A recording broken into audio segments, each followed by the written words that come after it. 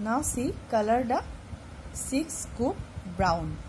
So let's count. 1 2 3 4 5 6 6 number is at sixth position. So color this 6 scoop with brown color. And color the first scoop purple. So first means 1 number 1 is at first position.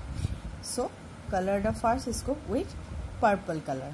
And color the seventh scoop with orange color so 7 number is a last number. 7 number means 7 position. So color this with orange color. And color the fourth scoop with green color. So 4 number is at fourth position. So color this with uh, green color. Okay? Have you all understood? Very good.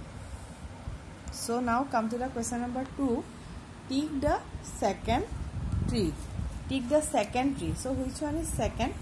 One, two, three, four. trees are there na? So which one is second?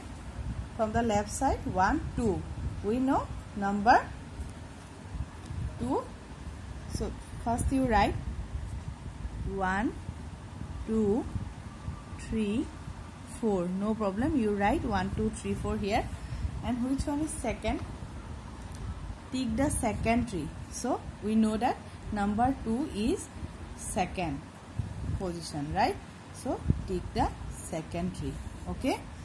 And draw a line under the fourth tree. So we know that four number four is at fourth position. So we have to draw a line under fourth tree.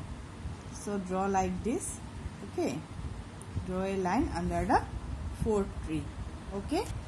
So this chapter is finished hope you all have understood and children you all learn cardinal and ordinal numbers okay?